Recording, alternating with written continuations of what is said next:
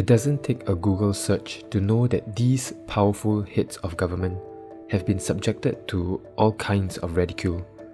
They've been turned into unflattering caricatures, mocked for their mannerisms, condemned for making bad decisions, faced accusations of abuse of power, and perhaps worse things. Although some get dumped on more than others, the leaders of first world nations like the G7 have something in common when dealing with general criticism. Almost universally, their response is not to threaten their detractors with the full weight of the law. Oftentimes, they don't even bother engaging with dissent. Why? Does it boil down to personality? Do all these leaders have the wisdom of a sage and the temperament of a monk? nope. But, with the exception of Japan, they are all elected officials of countries that have had hundreds of years to get used to democracy. East Asian nations that are newer adopters of democracy don't have the same respect for free expression. They still get hung up on the idea that the common folk can openly express disdain for authority without repercussion. It goes against Confucian teachings, which call for the child to be subordinate to the parent, and by extension, for every individual to put the needs of their community before their own. This family and state first culture continues to be deeply embedded in places like Japan, South Korea, Vietnam, and Singapore. This couldn't be better exemplified with how Singapore recently handled an editorial from a little known website. It started on 9 November, with local mainstream news sites reporting that a couple of government agencies had taken offense to an article from the States Times Review. A police report was filed. An angry letter demanding a retraction was sent. A cabinet minister chimed in with warnings against absurd allegations.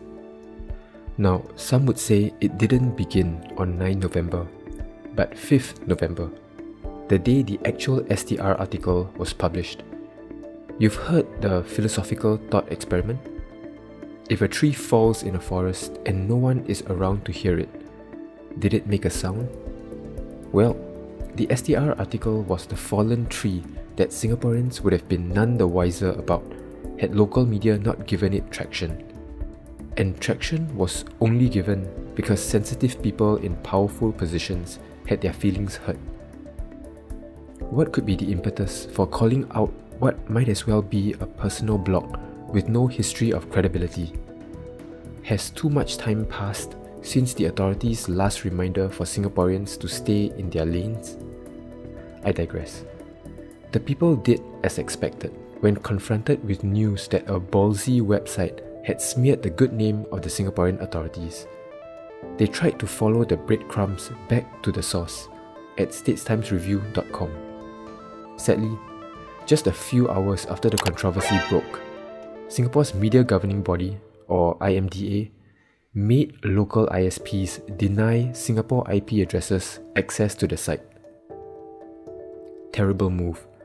Now, people who already distrust the big G thinks it has something to hide. Lucky for you, fine listener, I'm a relentless information gatherer with the sublime hacking expertise to circumvent even the most impenetrable firewall.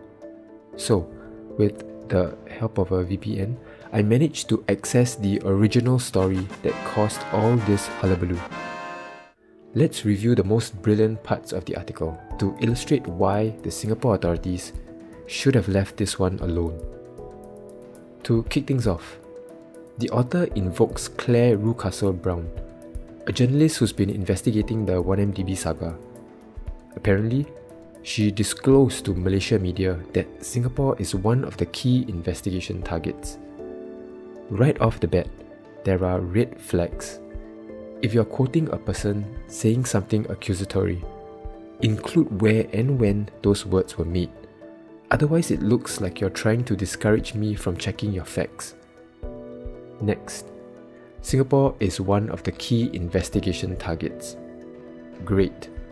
Who's investigating Singapore? The Mickey Mouse Club? And who's being investigated?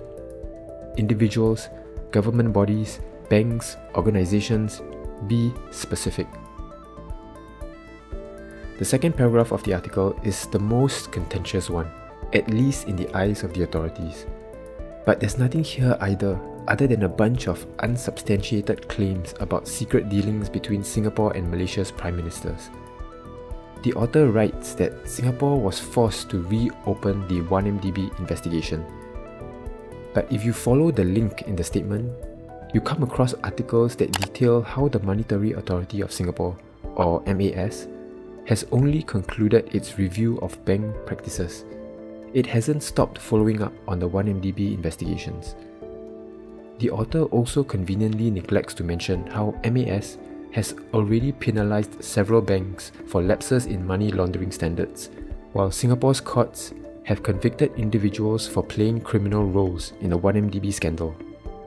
The fact that the author refers to both prime ministers as corrupted and labels Najib a dictator so carelessly shows this is more of a smear campaign than an objective report. In fact, the bigger picture becomes clear if you jump out of the article and glance at the rest of the website, because you'll be treated to such wonderfully neutral headlines as these. There's just nothing subtle about the website's agenda. Why would Singapore's authorities block access to a media site so filled with erroneous anti establishment commentary that it ends up helping the image of the government? It makes no sense to reject this free source of PR. Authorities claim that such lies impugn the integrity of public institutions and erode trust in government.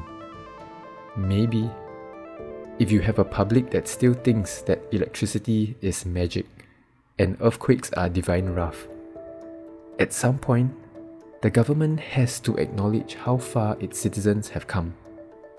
Singaporeans of today frequently rub up against beliefs that contradict with their own thanks to their access to foreign media, overseas travel, or working in cosmopolitan offices. We are regularly forced to have internal debates and external dialogues to sort out what ideas are worth advocating or adopting.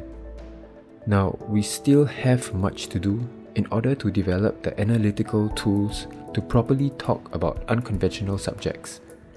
But it's a huge mistake to underestimate Singaporeans' ability to recognize questionable information. We are inarguably better at discerning fake news than, say, Myanmar, which has been notorious for censoring foreign media and only cut back on internet restrictions in 2011. The Burmese people's lack of exposure to different ideas and cultures, and therefore lack of discussion surrounding those ideas and cultures, made them ill prepared for a world where anyone could say anything to one another. And we're seeing the horrific consequences of this play out through the seamless propagation of hate speech in the country. Can we do more to safeguard ourselves from misinformation and dangerous ideologies? Yes, and we should. But that won't happen if the authorities insist on shutting down every controversial content that gets the slightest bit of steam the official response to alleged falsehoods shouldn't be to lodge police reports, file lawsuits, and deny people access to controversial information. It's a waste of public funds, a waste of time, and it benefits no one. Inflammatory voices should be allowed to percolate because they force people to gather around them, scrutinize them, and argue over them leading to a society that continually gets better at recognizing worthless voices. If you need any more evidence that Singaporeans aren't clueless sheep, just look at the comment section of the article in question. As you'd expect, the top comment is from that hopeless soul who's always looking for voices who agree with his view that the big G is always conspiring to keep the people down. But glance down and you see that the most popular comments are the ones that smell the bullshit. Keep in mind that these comments were written before the ban. What would this page have looked like if people could access the article? I would imagine most would come in, read a bit of it, make a mental note of the shit show they just consumed, and ignore future articles from the site or author. Some folks would go a step further and reply to the lies and inconsistencies in the article. Either way, Singapore wins.